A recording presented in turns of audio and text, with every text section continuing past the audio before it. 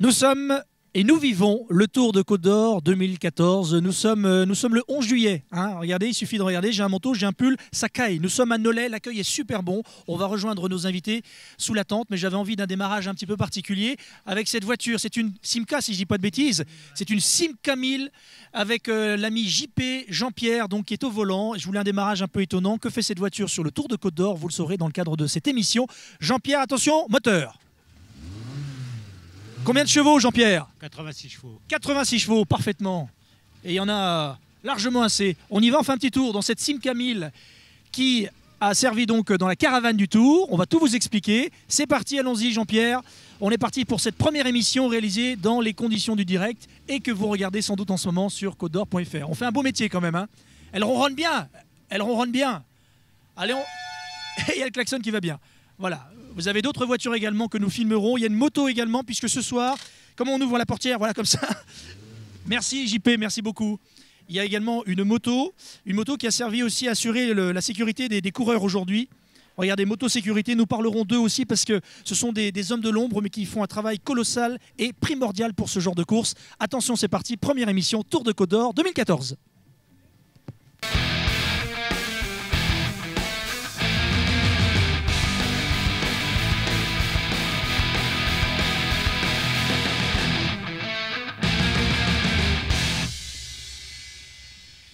Nous sommes euh, sous la tente Conseil Général et on est bien à l'abri parce qu'on ne se croirait pas quand même à, à 11, euh, à 11 juillet. C'est quand même incroyable. Pourtant, on a décalé d'une semaine cette épreuve de Tour de Côte d'Or. Ben, L'an dernier, on avait de meilleures conditions. Enfin, on est tous obligés de faire avec. On est tributaires des conditions. L'accueil, par contre, je le disais, est super. Il y a du monde quand même du côté de Nolay. Monsieur le maire de Nolay doit être content. On va vous donner le, le micro qui est ici. Monsieur le maire, déjà merci de nous accueillir. C'est la première fois que vous accueillez le Tour de Côte d'Or connaissance, oui. Oui. Attendez, votre micro va marcher. Si, si, si, ça va marcher. Bon, je le tiens. Oui, allez-y. Donc oui, c'est la première fois qu'on accueille le Tour de Côte d'Or. On avait eu le passage du Tour de France il y a quelques années, mais euh, c'est la première fois que Nolay est ville étape. Bon, c'est un peu plus petit en termes d'organisation et de logistique, Oui. et en termes de coûts également, ou de prix, ou de- d'infrastructures et tout ça, et de moyens. Mais en tout cas, vous voyez, il y a un succès populaire. Euh, il y a eu une belle épreuve aujourd'hui. Vous l'avez suivi, non? Je l'ai suivi et puis bon, euh, je rends hommage surtout euh, à tous les bénévoles qui sont venus ici bien avant l'arrivée pour mettre tout en place. Et il y a eu du gros boulot de fait. On les a rencontrés en amont pour euh, organiser la logistique. Je pense que là, le SCO a eu des gens efficaces. Alors, vous restez avec nous hein, sur l'ensemble de, de- de cette émission. Nous reviendrons sur la commune de Nolay. Vous avez, vous aussi, un champion. Alors, pas de vélo, quoi qu'il aime beaucoup le vélo, mais un champion. Bah, vous, on, on va le découvrir tout à l'heure, mais vous nous le Vous représenterez le tout à l'heure. déjà C'est un champion paralympique. De quoi s'agit-il Encore une fois, vous avez la chance de l'avoir en, dans votre commune. Euh, il sera avec nous tout à l'heure. Nous avons également euh, Miss Côte d'Or. On va lui demander aussi son avis sur, sur le vélo et sur la course du jour. À côté de vous, monsieur le maire, on va lui tendre le micro. C'est quelqu'un, un visage que vous connaissez bien puisqu'il est avec nous chaque année. Et c'est lui, un petit peu le grand Manitou, euh, l'ordinateur, le coordinateur donc, de cette belle épreuve, le Tour de Côte d'Or, Bernard Marie, président du SCO Dijon. Alors, cette première épreuve, Bernard, comment on pourrait la qualifier Bah, Je pense qu'on a vu cet après-midi une très belle étape, une course de mouvement, puisqu'une échappée de, plus de 20 coureurs est partie euh, presque dès le départ. Euh, voilà. Après, ça s'est un peu dessiné dans la premier meilleur grimpeur, qui était une côte euh, relativement longue de 7, 8, 9 km. Et donc, euh, avec une échappée euh, dans les coureurs du CC Etup euh, très bien représentée, puisqu'ils avaient quatre coureurs en tête. Euh, je crois qu'ils méritaient effectivement la victoire, même s'il y avait des individualités très fortes dans ce groupe. Euh, c'est l'esprit de groupe qui l'a qui l'a emporté. Alors, les forces en présence, il y a deux équipes suisses, il y a des équipes qui sont engagées en DN1, c'est ça hein Oui, Euh, c'est donc, ça, oui. C'est euh, c'est pratiquement ce qui se fait de mieux, on est Oui, bien d'accord. c'est hein. ce qui se fait de mieux, oui, tout à fait. Il y a, il y a 5, 6, 7 équipes de DN1, des équipes euh, suisses également. Il y a le Centre mondial du cyclisme qui révèle, euh, puisque l'an dernier s'est révélé. euh, L'Érythréen, c'est Voilà, ça l'Érythréen est passé Oui. professionnel euh, suite. et on s'aperçoit que sur le Tour de la Côte d'Or, tous les ans, en quelque part, le, le vainqueur passe dans les rangs professionnels euh, l'année qui suit. Donc ça veut dire que c'est une belle épreuve. C'est une, une épreuve de référence pour justement passer à l'échelon supérieur. Alors, on va donner la parole à celui qui est sur votre droite, qui a endossé donc le maillot jaune. Ça s'est joué dans les derniers hectomètres, hein, parce que vous étiez, il y avait une belle échappée en tout cas. Ça aurait pu jouer d'ailleurs avec euh, l'un de vos bons éléments du SCO, on va en reparler tout à l'heure. Lui aussi, il a un autre maillot, mais pas le jaune. Euh, comment vous déterminez, vous, vous pourriez euh, qualifier cette première épreuve de ce Tour de Côte d'Or 2014 Bah, usante déjà parce que voilà, nous on est parti dès le début de course et le parcours était ouais, vraiment usant avec une belle bosse au milieu du parcours. Et puis le circuit final aussi qui était assez dur. Donc euh, pour nous, ça s'est bien passé. Donc tout va bien. Alors, Erwan Tegel, c'est ça, du CC Etup. C'est ça. Chaque année, à Etup, ils nous font mal quand même. hein. Non, c'est vrai, président. On parle tout le temps de chaque année. Tout à fait. euh, on- nous, chez nous, on les appelle les cousins parce qu'effectivement, j'ai de très bonnes relations avec euh, l'équipe dirigeante du CC Etup. Et effectivement, on se retrouve souvent confrontés d'ailleurs. hein. Bon, ils viennent gagner chez nous, nous on va gagner chez eux. Alors voilà, bon, faudrait que ça soit l'inverse, ça serait bien mieux hein, pour nos partenaires, euh, voilà, pour nos sponsors. Mais c'est comme ça, mais ça se passe très bien. Oui, ça a l'air quand même. Bon, un petit mot sur euh, donc comment vous êtes préparé à ce Tour de Côte d'Or? Est-ce que vous avez repéré ou des gens sont venus peut-être euh, pour vous dire voilà au niveau du dénivelé comment ça se présente? Est-ce qu'il y a des difficultés À tel moment faut attaquer? Est-ce qu'il y avait une vraie stratégie? Non, on n'a pas, regardé, on n'est pas venu repérer euh, le parcours. Par contre, euh, sur les roadbooks, euh, on, a, on a analysé les tracés avant cette semaine. Donc voilà, on est venu ici aussi pour se préparer parce qu'il y a le Tour d'Alsace en, fin de, mois. Donc c'est aussi, pour ça qu'on est là. Est-ce que ça change la donne d'avoir le maillot jaune dès le premier jour, dès la première étape? Il y en a quatre quand même d'étapes, mine de rien. Il faut, voilà, il faut, gérer également ce, long week-end de course. Est-ce que ça va changer la donne? Vos qui- coéquipiers vont courir pour vous? Comment ça va se présenter maintenant? Je sais pas, on verra ça ce soir au, au briefing avec, euh, avec le directeur sportif. Mais euh, bon, on est quatre dans, on est quatre euh, sur, dans les huit premiers aujourd'hui, donc euh, voilà, ça nous, ça nous laisse un peu de marge de manœuvre. Quoi. Vous êtes le leader de l'équipe déjà ou pas? Il y avait un leader ou pas? Au départ Il y a toujours un leader logiquement, mais Non, nous on n'a pas de leader. pas de leader, on n'a pas de leader désigné maintenant. c'est la course qui, c'est la course qui choisit son leader, quoi. Bah, ce soir vous l'êtes en tout cas. Maillot Oui, jaune oui, vous l'êtes. hein. Voilà. Présentez-nous le garçon qui est à côté de vous. C'est quelqu'un de chez vous aussi ça?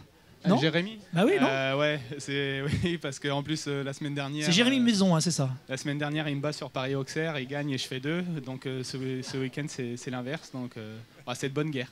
Alors il vient de. C'est Toussy, hein, c'est ça C'est Toussy, on va lui Ouais, donner le ça. micro alors. Alors lui, c'est le maillot blanc. Alors Bernard, si je dis pas de bêtises, meilleur jeune, meilleur espoir. Comment s'est passée cette course? Pas si mal que ça, visiblement. Euh, au début, euh, il y a un bon coup qui part euh, de 15 coureurs, quelque chose comme ça. On n'était pas dedans avec Erwan.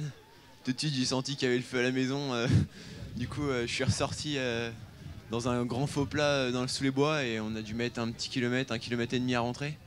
On s'est bien, on s'est bien fait mal pour, revenir sur le groupe. Et puis ensuite, bah, la course a fait que dans, la longue bosse, il y a eu la sélection par l'arrière. Cécile Tup a vraiment bien, manœuvré pour, pour euh, être euh, placé devant. Et puis en plus, euh, ils ont des très bons éléments. Donc quand ça grimpe, ils sont là. Edouard Laubert, il a pris des, des bons relais, je pense encore, comme d'habitude. Il a fait du, du vrai Edouard. Et euh, après, dans le final, on a essayé de s'entendre en tant qu'individualité avec euh, Julien. euh, et puis euh, Anthony Maldonado et puis euh, le, le- le gars de Nogent. Ouais, vous aviez jusqu'à quoi Une, une 40, hein, je crois, au mieux, non? Peut-être même plus encore, Ouais, non, au a- départ? je crois qu'on en avait 2 minutes 45. 2 minutes 45 à un moment, ouais. Ça s'est réduit un petit peu, mais vous aviez quand même une belle euh, avance, ouais. Ouais, ouais, bah, à l'avant-dernier tour, on s'est, on s'est bien regardé, on a monté la bosse à l'arrêt. euh, On se demandait tout de suite celui qui allait, euh, qui allait y aller, qui allait faire le Il premier. y avait un peu d'intox, il y avait... mais vous connaissez bien ce que disait Erwan. Est-ce que c'est une chance justement quand vous voyez le garçon qui est là Vous dites, bon, il va falloir que je me méfie de lui parce que je le connais, je sais qu'il est potentiellement euh, maillot jaune. Euh, et ou qui non Est-ce que le fait de le savoir dans le... avec vous, c'est plutôt un. Ouais, non, je pense que les neufs, que, les neufs de devant, ça s'est fait à la pédale et euh, je pense Ouais. qu'on avait tous nos chances euh, si Ouais. ça arrivait. euh, là, après, la course a fait qu'on s'est retrouvé devant. moi, au kilomètre, j'ai vu qu'il y avait l'ouverture. Je savais que de- de- devant Guillaume, il allait pas, il allait pas, il allait pas flancher comme ça. Et bah, je me suis dit, s'il si, faut revenir, c'est maintenant. Et j'y suis allé. Je me suis pas retourné. Je me suis retourné à 500 mètres. J'ai vu qu'il y avait Erwan dans ma, dans ma roue. Et quand je suis revenu sur Guillaume, Guillaume, il, il a fait comme d'habitude, euh, vraiment euh, son rôle d'équipier. Et il a, il, a roulé, euh, il a roulé pour lancer le sprint Erwan. Erwan, il a failli se faire enfermer sur la gauche. J'adore vos, vos termes et tout. Moi, je découvre euh, enfermé, tout ça. Bon, ça, je connaissais un peu, mais il y en a d'autres. Effectivement, mais c'est bien. Le, le jargon euh, vélo, c'est quand même quelque chose d'extraordinaire. On sent qu'il y a quand même vraiment. Vous avez vécu. Bon, c'est éprouvant également physiquement. Il y avait 140 km, hein, si je dis pas de bêtises. En plus, les conditions sont pas faciles. On va demander à votre voisin. Merci en tout cas d'être venu euh, jusqu'à nous et on vous retrouvera sans doute demain. Euh, Guillaume, alors Guillaume? Non, Pas du tout. Alors qui est Guillaume? Guillaume, il est où? Il est là-bas au fond, d'accord. Parce que je connais pas tous les. Rap- Rappelez-moi qui vous êtes. Vous avez le maillot donc de. Meilleur sprinter, Alors, votre nom et prénom. Romain Barroso. Alors, comment ça s'est passé aujourd'hui? Eh ben, moi j'étais dans les coups euh, dès le début, donc euh, j'avais pour objectif de ramener donc le maillot vert. Euh, donc j'ai pris bah, tous les coups et puis bah, la- dans la première échappée j'ai fait le premier rush, on s'est fait reprendre, mais les deux, les deux qui m'accompagnaient donc se sont fait reprendre. Donc bon, en assurant le dernier sprint, j'étais assuré de ramener le maillot vert. Euh, C'était bon, je- l'objectif aujourd'hui dans le maillot vert, c'était ça Ouais, ouais, parce que bon, je ouais. suis pas, je suis pas vraiment un très bon grimpeur, donc euh, la Côte d'Or. euh, Bon, et vous aviez vous, repéré un petit peu le tracé, pareil, vous connaissiez le Tour de Côte d'Or ou Non, pas du tout. Pas du tout. Non. D'accord. Au, au feeling quoi, à l'instinct, vous avez dit. Bah, J'y suis venu l'an dernier, mais Ouais. j'ai chuté. Et euh, bah, voilà, je retente ma chance. euh, Vos objectifs euh, ce week-end, concrètement, garder le maillot vert? Bah oui, on va essayer. Ouais. Il y a du lourd hein, quand même, hein, il y, a- il y a un gros niveau. Hein. Ah oui, je sais pas. Ça va le faire. Bon, il y a une stratégie qui va être développée à partir de ce soir, non? Pour justement euh, essayer de repérer les endroits où on peut gagner des points en sprint? Bah sûrement, on verra ça. Ouais. euh, pour l'instant, il n'y a rien encore de concret. hein. D'accord. Bon, merci en tout cas d'être venu jusqu'à nous ce soir. On va passer. Alors, on va tout de suite s'adresser. hein, pardon, Miss, et, et on va, pardon également au conseil général, mais on va tout de suite donner la parole aux coureurs qui vont devoir regagner également leur, euh, leur caravane parce qu'ils ont bien froid. C'est vrai que là, on a eu des conditions particulières. Il doit faire 14 degrés. Bon, le garçon qui est là, on le connaît bien, Bernard. C'est la satisfaction de le voir sous la tente, c'est bon signe, avec un maillot à poids. On aurait préféré le jaune évidemment, mais c'est un garçon qui se comporte bien chaque année. Oui, tout à fait. Surtout qu'il a fait d'énormes progrès cette année. On l'a vu dernièrement gagner une belle étape au Tour d'univers de Morvan, finir euh, quatrième ou cinquième au général. Donc, euh, bon, il préfère un peu la chaleur, hein, je le connais un peu, mais bon, euh, aujourd'hui, il était très en forme, il a attaqué, il a contré, il a essayé de tirer son épingle du jeu, mais comme je disais, avec quatre coureurs des tubes, c'était très difficile. Un peu esselé aujourd'hui, Julien Bernard? Sur le final, ouais, sur le finish. là. Ouais, un peu esselé. Euh, Bon, on a essayé de faire une petite, euh, une petite entente avec euh, les quatre autres coureurs euh, autres qu'Etup qui étaient devant, mais bon, à la fin, on n'a quand même pas le même maillot, donc chacun essaye de tirer son épingle du jeu. Et puis c'est de bonne guerre, quoi, on va voilà, dire, à la c'est de fin, c'est Etup qui gagne. Bon, je pense que c'est mérité pour aujourd'hui. 4 sur un groupe de 8, ils ont vraiment couru à la perfection et puis ils vont aller chercher une belle victoire. L'an dernier, tu avais gagné la première étape, je me souviens. C'est ça, c'est il y a Châtillon. Il y a deux ans, il y a deux ans, Châtillon-sur-Seine, devant le papa hein, qui était le parrain, on se souvient, euh, Jeff. Et donc voilà, donc là, cette, cette année concrètement, tu viens quand même comme outsider. Clairement, tu viens pour euh, faire partie des, des tout meilleurs. hein. Ouais, bah, comme euh, chaque course où on prend le départ, hein, on est là pour gagner. L'objectif de l'équipe, c'était de ramener le maillot jaune. Bon, là, on va tomber, je pense, sur une grosse équipe d'étupes. euh, ça va pas être évident. Après, à nous de, de faire la course au maximum pour aller chercher ce maillot jaune. Bon, ça sera pas gagné. C'est pas gagné. Meilleur grimpeur, par contre, tu peux le garder sur les épaules. Toi, tu as l'avantage de jouer à domicile. Tour de Côte d'Or, tu connais sans doute bien toutes les communes et le tracé. Tu sais demain où tu peux marquer des points? Euh, je vais voir ça ce soir. Là, euh, aujourd'hui, j'ai juste regardé euh, cette première étape. Bon, on avait dit que valait mieux avoir quelque chose que rien du tout à l'arrivée. On a le maillot de meilleur grimpeur, donc pourquoi pas le défendre par la suite. Après, ça sera pas au détriment du classement général en tout cas. D'accord, ça marche. On va donner la, la parole donc à Guillaume. Donc c'est Guillaume Martin, c'est ça?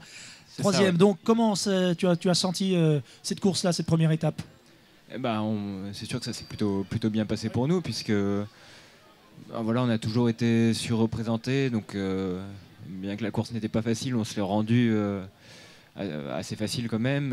et donc, dans le final, bah voilà, en étant 4 sur, sur 8, euh, on a attaqué un peu, un peu chacun notre tour. Et, euh, les autres marchaient quand même assez fort parce que ça n'a pas, été si facile que ça. Et puis euh, finalement, à 3-4 bandes de l'arrivée, euh, j'ai réussi à m'isoler un peu. J'y ai vraiment cru.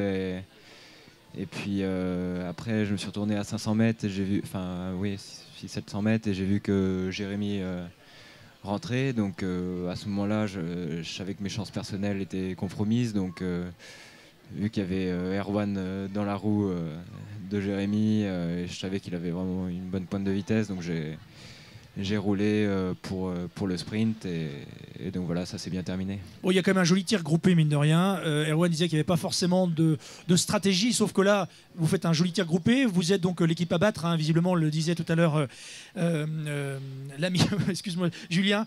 Donc c'est vrai que vous êtes l'équipe à battre ce week-end. Vous allez maintenant effectivement mettre en place quelque chose ou pas Pour les tous, les uns pour les autres? Comment ça va se passer On va soutenir le leader? On verra- voilà, comme disait Erwan, on verra, on verra Ouais. ce soir, mais c'est sûr qu'on a, les, on a la chance d'avoir plusieurs, euh, plusieurs cartes en main, donc, euh, euh, donc voilà, il y aura plusieurs options tactiques en fonction du, du déroulé de, et de la physionomie des courses, mais oui, il y, a moyen- y a moyen de jouer. C'est clair. Et toi, demain, ton objectif, ou ou demain ou d'ici à dimanche, c'est garder le maillot bleu?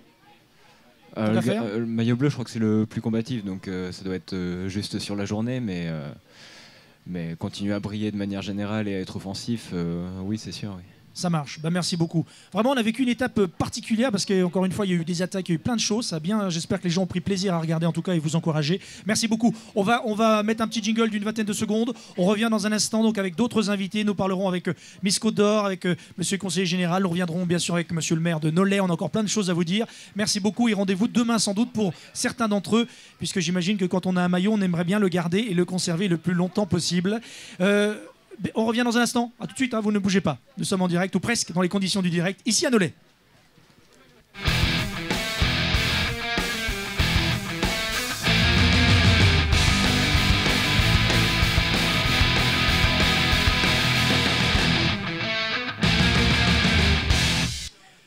On va essayer de faire parler tout le monde parce que voilà, il y a plein de choses, mais c'est ça aussi l'avantage et, ce qui fait le, charme de ces émissions. Voilà, mais on gère tout et on assume tout, il n'y a pas de souci, on change de plateau, un petit jingle et c'est reparti. Donc Bernard, euh, on a vécu une belle épreuve, on va vous redonner le, micro si vous voulez bien.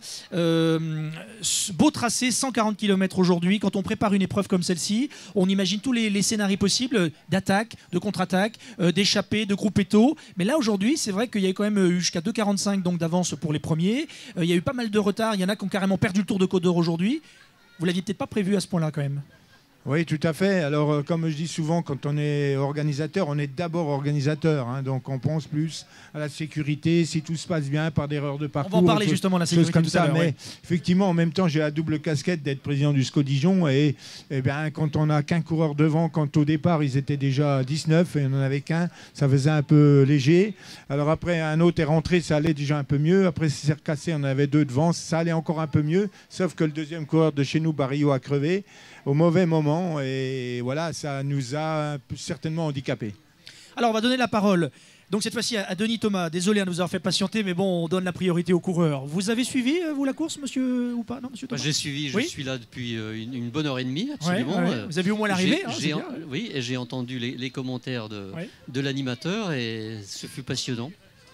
c'est quand même le vélo, ça reste quand même l'une des seules épreuves maintenant qu'on peut voir donc gratuitement. C'est vrai qu'on le dit, mais voilà, euh, surtout en pleine période de Coupe du Monde, on ne voit pas tous les matchs malheureusement euh, de foot, hein, j'entends. Mais là, c'est vrai que le vélo, sport populaire, hein, Oui, est. c'est c'est vraiment le sport populaire. Et puis, euh, permettez-moi de, de le souligner, je voudrais, je voudrais saluer euh, toute l'équipe euh, du président Marie parce que l'organisation est, remarquable. Évidemment, les, services du Conseil général sont, autour de, cette magnifique course, qui est une course de ligne, une course d'étape, euh, quatre étapes, avec une course aujourd'hui, une étape aujourd'hui qui a été quand même très difficile, avec une météo capricieuse. Euh, et moi, je suis admiratif de ces, coureurs parce que, en effet, ils sont, on, les, a vus il y a quelques minutes. Ils sont, ils sont enthousiasmants, ils sont, euh, ils sont joviaux, ils sont sympathiques. Et puis, euh, ce qui me frappe le plus, c'est que finalement, euh, les 140 km dans les mollets, on, on les, on les voit pas sur leur visage. Donc, vraiment, un grand coup de chapeau à ces sportifs qui demain permettront, j'en suis convaincu, de, de, de gagner leur, leur galon pour le Tour de France, sans doute. Et puis, une nouvelle fois, une, une organisation sans faille, avec évidemment la, ville de Nolay qui a été euh, très présente euh, euh, aujourd'hui, une course d'étape, puis le conseil général euh, avec euh, toute son équipe. Mais Président Marie, euh, félicitations parce que c'est pas facile de monter une telle opération. Et vous l'avez dit, c'est un sport populaire, c'est un sport gratuit. Et le conseil général a bien compris que ces étapes permettaient aussi de faire découvrir, de découvrir la Côte d'Or. Quand on voit ces, paysages splendides, eh bien, ça permet aussi d'avoir un regard sur, notre belle Côte d'Or, notre beau département. Alors justement, tiens, regardez le micro. Quand euh, vous, comment ça se passe? Vous sollicitez les communes ou les, communautés de communes ou comment ça se passe concrètement? Par exemple, est-ce que vous étiez en contact déjà avec Monsieur Denis Thomas? Vous lui avez dit, viens, on aimerait bien venir dans votre. Comment ça se passe? Alors, euh, justement, j'aurais voulu associer Pierre Lescure avec moi, qui est mon adjoint, mais qui est le coordinateur de cette épreuve principalement, et, bien d'autres. Et donc, souligner effectivement, parce que c'est Pierre qui fait tout ce travail en amont. Et c'est vrai que je voudrais remercier les communes. C'est la première fois que nous venons à, à, à, à Nolay. Mais euh, on a besoin de vous, on a besoin des communes, on a besoin. Alors, il y a le côté financier, le côté organisation, c'est vrai, mais le côté financier, et monsieur le conseiller général le soulignait, c'est vrai que c'est un sport gratuit. Donc, on on n'est pas assez aidé encore pour. euh, pour faire encore mieux. Et je pense qu'on peut faire beaucoup mieux parce que le Tour de la Côte d'Or est devenu vraiment une, belle organisation cycliste sur notre beau département. Euh, mais on ne peut pas encore se permettre, comme d'autres tours euh, dans les régions limitrophes, Franche-Comté, Saône-et-Loire et tout, et la Nièvre, que on- pourquoi? Parce qu'on n'est pas encore euh, euh, au top financier pour, euh, faire encore mieux. Vous, bon, l'argent c'est le nerf de la guerre, tout le monde le sait. C'est de plus en plus compliqué aujourd'hui avec nos partenaires privés qui ont des difficultés. hein. Pour certains, le bâtiment, les travaux publics et d'autres. Donc on a besoin de vous, messieurs les élus, euh, que ce soit les maires des communes que au Conseil général, bien que le Conseil général de la Côte d'Or, grâce à son président François Sauvadet, depuis quelques années, a voulu booster ce Tour de la Côte d'Or. Aujourd'hui, il y a une très belle communication euh, sur le Tour euh, via ce plateau télé, via tout ce qu'il y a autour de, ce Tour de la Côte d'Or. Donc le Conseil général a fait beaucoup, mais je pense qu'il faut faire encore plus à l'avenir pour faire que cette belle épreuve perdure et éclate un peu notre département. Alors je reviens d'ailleurs sur euh, la volonté peut-être, euh, je pense que du côté de Beaune, est-ce que c'est la politique peut-être de M. Sugno aussi, avec qui vous travaillez évidemment, mais euh, de, de faire venir un jour une étape du Tour de France? Est-ce que c'est dans les cartons ou pas? Parce que là, bien sûr, le Tour de Côte d'Or, on y est bien, on a été très très bien accueillis, mais est-ce qu'on vise un peu plus? Écoutez, vous, entre lui- guillemets vous lui- vous lui poserez la question. Non, je sais pas, l'agglomération la on doit bien penser à ça, non Vous lui poserez la question. Moi, je, si je prends ma casquette du tourisme, Oui. je, je suis persuadé que des épreuves majeures telles que le Tour de Côte d'Or ou une étape du Tour de France, pourquoi pas, eh bien, c'est un coup de projecteur sur, euh, Oui. sur un territoire. Euh, donc, vous lui poserez la question. Par, par contre, euh, vous l'avez souligné, souligné, le président Marie l'a souligné, c'est que le président Sauvadet a tenu à ce que cette épreuve, qui est la 11e, Oui. Soit pérenne. C'est-à-dire que nous n'avons pas abandonné l'accompagnement financier de cette épreuve, de ce Tour de Côte d'Or, pour la raison suivante, c'est que c'est la cohésion. Et on sait très bien que le sport, aujourd'hui, est un, un- un volet, est un, volet de, de- de- de cohésion, de solidarité. Et vous l'avez souligné aussi, c'est que cette épreuve, elle, elle, elle- elle attire beaucoup de monde. On l'a vu aujourd'hui. Oui, oui, oui. Sur les routes de Côte d'Or, on a vu beaucoup de monde et ça permet justement de cette cohésion. Et puis souligner aussi que euh, dans les temps difficiles que nous traversons, et, ça a été dit, euh, les temps euh, difficiles que nous traversons, nous avons, des priorités, mais le sport, pour nous, c'est une des priorités. Parce que nous avons l'action sociale, nous avons la réinsertion, et nous pensons que accompagner les clubs sportifs, c'est aussi de l'insertion, de, la réinsertion et de la cohésion entre les générations, et notamment les jeunes. Et le vélo était la priorité l'an dernier du Conseil général avec plein d'actions. On rappelle que c'était le, sport qui était, euh, voilà, qui était numéro un l'an dernier. Il y avait des actions menées par. Oui, Marie. Justement, je voudrais saluer à, deux fois plutôt qu'une euh, Monsieur le maire de Nolay parce que nous sommes en semaine, nous sommes vendredi, et c'est quand même plus compliqué d'attirer du public que le week-end. Euh, donc, mais on a vu quand même qu'il y avait pas mal de public à Nolay. Donc, euh, euh, je vous promets qu'on reviendra dans votre commune si vous le souhaitez, bien sûr. Et si possible le week-end, je vous invite tous à venir à Smur dimanche. Vous verrez que dimanche à Smur, il y aura certainement, comme l'an dernier à Saint-Jean-de-Laune, un gros, gros public, encore plus important qu'aujourd'hui parce que c'est un jour de semaine. Donc, je vous remercie doublement de nous avoir invités sur cette première étape. On va lui redonner la, mar- la- la parole de toute façon. J'aimerais quand même qu'on entende Miss euh, Côte d'Or. Merci, à monsieur Denis Thomas. Je ne sais pas si euh, voilà, vous voulez rester avec nous comme vous voulez. En tout cas, Miss Côte d'Or, donc, euh, qui a euh, une écharpe autour du cou depuis maintenant quelques semaines. hein. C'est vous qui allez présenter notre beau département à l'élection de Miss Bourgogne dans quelques temps. Qu'est-ce que ça fait Donc, euh, je sais pas, euh, de, de- c'est votre première sortie officielle, on va dire?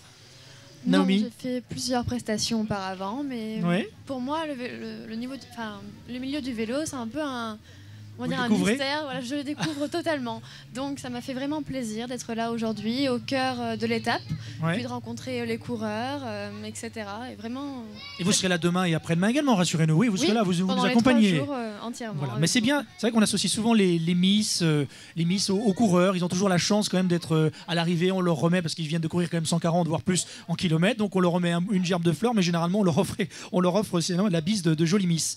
Un petit mot sur les, les échéances. Donc l'élection de Miss Bourgogne, c'est quand? Alors, l'élection, c'est le 11 octobre à Oui. Chalon-sur-Saône. Donc, euh, on est 12 candidates. Et... Combien 12 Oui, 12 Bien. candidates. Et, Et vous êtes de Neuilly et Dijon, vous, hein, c'est ça? Neuilly et Dijon. Comment s'est passée votre élection d'ailleurs? Euh, Bon esprit, bien impeccable avec les, les Alors, autres euh, je filles suis allée totalement bon esprit, euh, donc j'ai profité au maximum de mon expérience. Et puis, ben voilà, moi je pense qu'il faut partir avec cet esprit-là. Et qu'est-ce que vous faites dans la vie? Je travaille Naomi dans l'événementiel, dans l'entreprise familiale. Ah bah voilà, vous aurez peut-être besoin un jour de, de cette jeune fille. Naomi Bailly, merci. À demain, hein, on se revoit À demain, il n'y a pas de souci. Avec plaisir. Monsieur le maire, vous avez, vous, un champion? On va lui laisser le temps de nous rejoindre. Un champion paralympique, Cédric Fèvre-Chevalier, va nous rejoindre. On va essayer de le faire passer voilà, par ici. Champion paralympique. C'est quand même quelqu'un, mine de rien, qui a, qui a- alors il n'est pas venu avec aujourd'hui, mais qui a porté haut les couleurs de la France à Londres. Un champion paralympique, c'est pas tous les jours qu'on en croise. Vous, vous le connaissez, j'imagine, parce que je sais qu'il y a eu un comité de soutien pour ce garçon. Il y a eu une fête incroyable quand il est rentré en France. Euh, c'est un garçon attachant, en plus. C'est un sportif vraiment incroyable. Bah voilà, Cédric, euh, bon, il est arrivé avec ses parents il y a quelques années à Nolay et euh, on a découvert qu'on avait euh, à Nolay un sportif de très haut niveau. Et bon, au, au départ, quand il est parti à Londres en 2012, euh, il y a eu un comité de soutien et bon, tout le monde s'attendait à ce qu'il fasse une belle performance, mais là, euh, je vais lui laisser expliquer euh, le détail de, de l'épreuve, mais il a remporté haut la main la médaille d'or. C'est vrai qu'il a, euh, il a, il a eu un score, je crois, jamais fait aux, aux Jeux Olympiques, enfin Jeux Paralympiques. C'est du tir à la carabine. Alors, faut que tu me rappelles la distance. Et c'est, alors, c'est, parce a- je sais que c'est, c'est assez compliqué. hein, c'est pour les néophytes. Rappelle-nous donc la distance. Tir sportif, donc à la carabine à 10 mètres. À 10 mètres. Euh, c'était très spectaculaire parce qu'il faut faire preuve d'un détachement total, de faire euh, fi donc du public qui est derrière, qui scande vos prénoms, je sais qui vous encourage. Il faut vraiment être dans sa bulle. Et pour avoir vu quelques images, c'est très spectaculaire. Tout à fait, Il oui, il faut ouais. vraiment faire Psychologiquement, faut être à fond, quoi. Il faut être dedans. de, de tous ces nouveaux paramètres, euh, surtout que les jeux, c'est quand même quelque chose euh, d'exceptionnel. On n'a pas cette habitude-là sur les, sur les autres compétitions, que ce soit nationales ou internationales. Là, je pars la semaine prochaine euh, au championnat du monde, donc euh, ça ne sera pas du tout la même ambiance. Là, on va retomber un, un peu plus dans l'anonymat, mais ça va être euh, une autre euh, expérience. Alors, tu ne t'entraînes pas à Nolay, hein, je crois qu'il n'y a pas de, de pâtis, ou en tout cas, non, il n'y a pas de, de- de club. Et c'est où exactement que tu t'entraînes euh, Je m'entraîne à Chalon-sur-Saône. Chalon-sur-Saône, bon, c'est pas très très loin non plus. Mais il y a eu un comité de soutien incroyable à Nolay quand tu es rentré. Je crois qu'il y a eu il y a des vidéos d'ailleurs qui en attestent ou des photos. Ça a été vraiment la, la fête, quoi. hein. Oui, oui, tout à fait, euh, par euh, le maire de Nolay, à l'époque, euh, bien évidemment, euh, qui a euh, souhaité euh, ce comité de soutien. Et ce comité de soutien vient en aide pour la préparation, etc., pour euh, m'aider euh, financièrement euh, dans la préparation des prochains Jeux paralympiques de Rio. Oui, parce que malheureusement, vous n'êtes pas une délégation qui avait beaucoup, beaucoup d'argent. On parlait tout à l'heure pour le vélo, mais c'est vrai que le tir à la carabine, c'est encore un peu confidentiel, faut être clair. Malheureusement, on n'en voit pas beaucoup à la télé. Euh, oui, oui. C'est moins qu'on puisse dire. c'est c'est pas gagné pour que ça vous reste, malheureusement. Donc, euh, Est-ce que on- tu n'arrives pas à en vivre? Je veux dire, il y a- tu fais autre chose à côté? Alors moi, je suis sportif de haut niveau de la défense, donc euh, j'ai un contrat euh, de sportif de haut niveau euh, avec le ministère de la Défense qui me permet d'être détaché à 100% pour la pratique euh, sportive.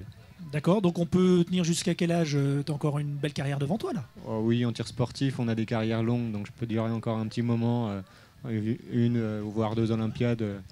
et puis on parle de plus en plus d'une candidature pour Paris 2024, alors euh, peut-être euh, que j'aurai l'envie. Ah, euh, 2024, d'ici là, oui, ça t'aura- euh, quoi T'auras 32 j'aurai, ans, ah, euh, euh, 32 ans presque. On peut te soutenir de quelle manière? Est-ce que tu as un site internet, un blog, quelque chose?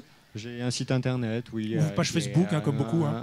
À, à mon nom, euh, une page Facebook, euh, oui, oui, comme beaucoup. Championnat du monde euh, dans une semaine À quel Dans endroit? une semaine en Allemagne, à Soul. D'accord, donc tu fais partie des favoris quand même, en étant champion paralympique, Euh, logiquement. Oui, euh, je me suis fait un petit peu oublier sur, les deux, deux dernières années, donc euh, là je suis un peu passé dans les oubliettes. On m'attend pas forcément, donc je vais peut-être en profiter. C'est peut-être pas plus mal, comme ça t'as pas trop la pression, t'arrives un peu incognito et tu fais mouche. Bravo Voilà. en tout cas Cédric. Euh, Est-ce qu'on peut parler de l'aspect sécurité Bernard? Venez avec moi parce que je sais que c'est super important. Et je voudrais, pardon messieurs, pardon, pardon, pardon. Est-ce qu'on peut parler de Trévory, le, le chef responsable des motards?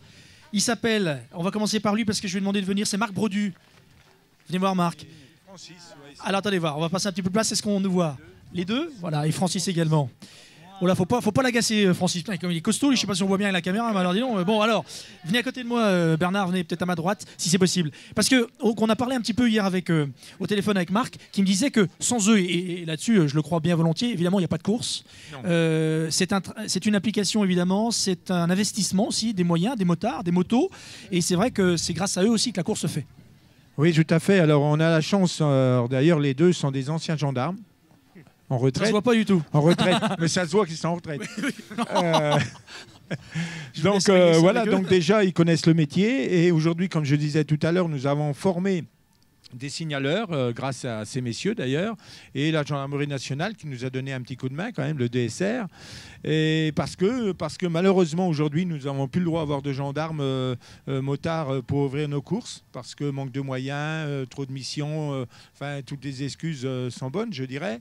Et donc nous, c'est une, vo- une volonté commune de, de former aujourd'hui des motards qui ont d'ailleurs reçu un label sécurité pour... euh, Parce ouvrir qu'ils sont formés, il y a une formation Oui, obligatoire. Tout à fait. Ils sont assermentés, enfin je veux dire, Oui. on fait pas n'importe quoi. Oui, ils ont un certain Ouais. pouvoir de police Bien sûr, pour réguler comme, comme les motards le faisaient euh, dans nos courses cyclistes.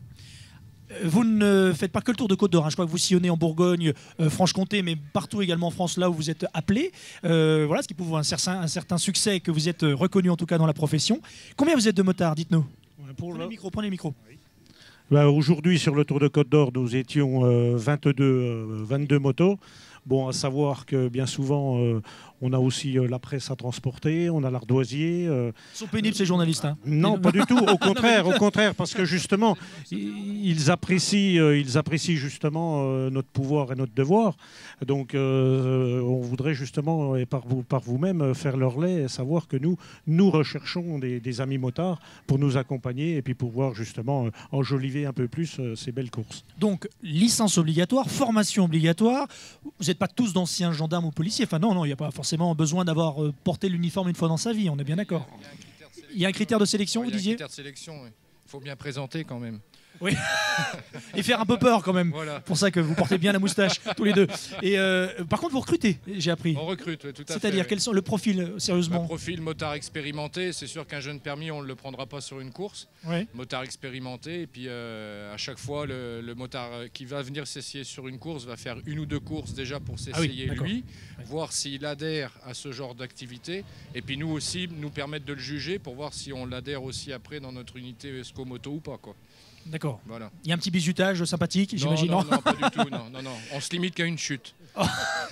Bon, il y a un bel esprit en tout cas, ça fait plaisir. On viendra vous voir. Si vous êtes dans les parages demain, vous êtes toujours les bienvenus. Regardez les belles motos. Est-ce que les motos sont. Il n'y a, rien de particulier? C'est une moto, on va dire, standard d'usine, hein, il n'y a pas de souci. hein.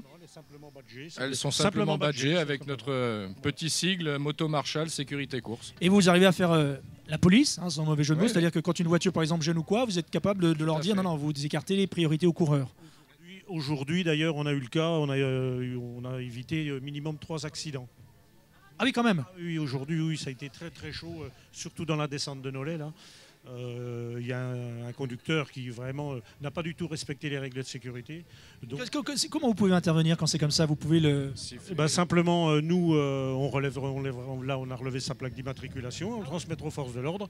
Et Je pense qu'il aura euh, un petit souvenir euh, de la, du, du Dijon Côte d'Or. Voilà, tout simplement. Bon, en tout cas, vous faites un super boulot et bravo, parce que grâce, grâce à vous, la course peut se passer dans de bonnes conditions. Vous avez encore une fois évité des accidents et assuré la sécurité. Bah, On va terminer. Comme on dit souvent, euh, Oui. pas de moto, pas de vélo. Pas de moto, pas de vélo. Et ça, c'est un super slogan. Il est bon, hein, lui, il est bon. hein. Euh, on viendra vous voir, les gars. Si vous êtes dans le parage demain, je voulais Avec aussi plaisir. parler de la caravane. Est-ce qu'elle est là, la responsable de la caravane? Sinon, on la fait demain, c'est pas un souci, parce qu'on a déjà débordé là, largement. Fabienne. Non Vous avez vu la, la superbe voiture dans laquelle je suis monté tout à l'heure? C'est grâce à, à Fabienne. Vicens, qui donc, c'est ça, j'ai bien dit votre nom, hein, je me suis pas trompé, d'accord, Vicens. Euh, Il y a une vraie belle caravane cette année avec, alors il y a des Simca, il n'y a pas que des Simca, mais Il y a euh, Simca, euh, on une a vieille voiture de collection. la brasserie de Vézelay aussi qui vient nous rejoindre. Alors c'est un vrai choix, c'est de proposer une caravane qui a de la gueule, si vous me permettez la l'expression. Voilà, qui a de la gueule. Donc des voitures de collection pour, euh, pour ouvrir la caravane.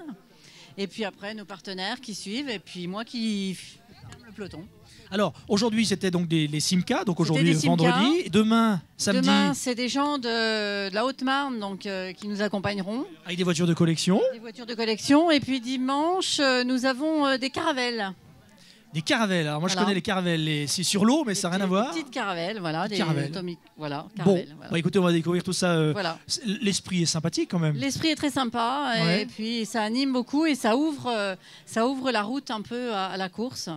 Et puis euh, ça permet. Vous euh, distribuez donc des petits goodies, des petits voilà, gadgets. des petits, des petits bonbons. Les, voilà, les enfants sont sur le bord des routes et donc on prévient un petit peu l'arrivée de la course et puis ça permet de, de mettre euh, un peu d'ambiance dans la course. Donc ça veut dire qu'il y a des partenaires donc, qui, qui ont payé quelque part, hein, c'est ça, le- Voilà. hein, pour être siglés sur les voitures? Enfin, c'est ça un peu, non Ou pas Vraiment? Tu peux. Tu peux. demander à Pierre. hein, qui Ah oui, c'est lui qui gère. Donc dès qu'il y a finance, c'est Pierre qui est pas loin.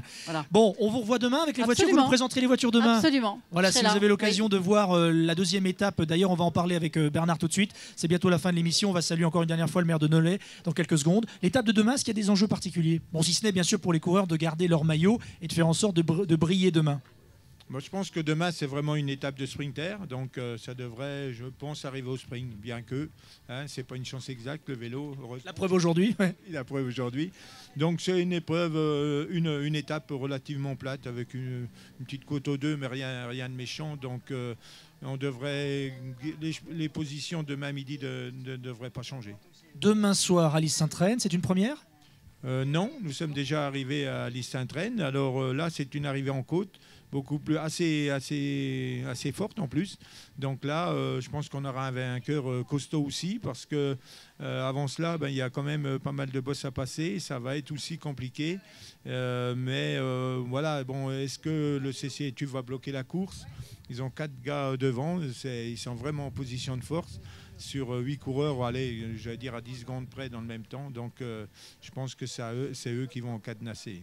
Et Julien Bernard qui a intérêt à faire tout, bien sûr, on lui souhaite, mais il va le faire, bien sûr. Il va essayer de conserver son maillot à poids donc de meilleur grimpeur, sachant qu'effectivement, Alice Saint-Traine, pour aller jusqu'au dessus, il faut, euh, quand, il- on a déjà une centaine de kilomètres dans les pattes, il faut le faire, quoi. Hein, c'est pas, pas donné. Combien de kilomètres demain? Euh, demain matin, 73 km, en gros euh, la même chose l'après-midi. Alors l'ennemi étape, des fois c'est difficile parce que euh, surtout euh, on, on mange un peu particulièrement, donc euh, c'est difficile euh, l'après-midi surtout. Euh, les coureurs le matin n'aiment pas se lever trop tôt non plus. Enfin c'est compliqué quoi, hein, et, et ça reste un sport euh, euh, pas évident. hein. Quand on a vu qu'aujourd'hui ils ont fait 47 km dans la première heure, euh, ça veut Sous la pluie, l'humidité, le froid, c'est pas simple. Ben voilà, ainsi s'achève cette première émission. Vous voulez euh, rajouter Monsieur le maire de Nolay Qui voulez-vous me présenter pour terminer? Voilà, je voulais, comme euh, c'est l'occasion de fédérer un peu les différentes bonnes volontés de, la commune, je voudrais parler de l'établissement d'accueil de jour de Nolay, de la mutualité, qui a réalisé un vélo décoré qu'on peut voir un petit peu plus loin là-bas. Et euh, bon, ceux qui l'ont réalisé souhaitaient vous, parler de la réalisation qui est là-bas, derrière. Et je voudrais remercier aussi le vélo qui est sur l'estrade, hein, à côté de, la démonstration de la Zumba. Et je voudrais remercier les bénévoles de l'association de parents d'élèves qui ont bien voulu tenir la buvette, malheureusement dans des conditions pas idéales pour, euh, pour des gens qui n'avaient pas très soif, mais je tiens à les remercier. Voilà. Merci beaucoup encore. Vous êtes Nadège, hein, c'est vous, hein, Nadège, d'accord. Et voilà, vous êtes avec quelques-uns des pensionnaires. Bon, c'était bien le vélo Oh oui Ah oui, et ben on remet ça demain, ça tombe bien. Rendez-vous pour de nouvelles aventures, donc demain sur codeur.fr. Continuez bien et bravo pour le vélo qui est sur le, podium. C'est joli, c'est du bon boulot ça les gars. Ouais, c'est joli, voilà. À demain à codeur.fr donc euh, pour regarder cette émission. Un petit mot également pour la Zumba. On n'aura pas le temps, on n'a pas le temps, non, t'as pas envie de parler de Zumba La pauvre et tout. Tu étais bi- belle comme tout, on peut la filmer quand même parce qu'elle a euh, proposé tout à l'heure, elle s'appelle Coralie Deniso, vous pouvez la retrouver sur, euh, sur Facebook. Elle nous a proposé une belle démonstration de Zumba. Moi je voulais danser avec toi, mais j'ai pas eu le temps. Voilà, c'était magnifique, mais t'as pas froid. Non, ça va. Ça va. C'est quoi la Zumba concrètement? C'est du fitness. C'est du fitness. Tu fais partie d'une section, c'est ça? Alors, on organise euh, des sections de Zumba tous les lundis soirs à Nolay avec ma collègue Annie qui n'est pas là ce soir mais qui nous regarde. Le profil, l'âge, peu importe? N'importe. Homme, femme? Tout le monde peut faire de la Zumba. On fait pas en couple Non. C'est individuel et sans fitness. Voilà, merci beaucoup d'être venu. C'est très joli ça, les... voilà. Tu es magnifique. Merci beaucoup. Eh bien, rendez-vous donc euh, demain, codor.fr. Merci beaucoup aux équipes techniques. Et puis, euh, voilà, le tour de Codor vit et bat son plein euh, pendant encore deux jours. Et vous aurez donc demain, bien sûr, les maillots, les, les bons artisans donc de l'épreuve de demain. Et puis, vous aurez également tout ce qui fait le charme d'une épreuve cycliste comme le Tour de Codor, avec par exemple les coulisses et les hommes et les femmes de l'ombre. Passez une belle soirée. À bientôt. Merci.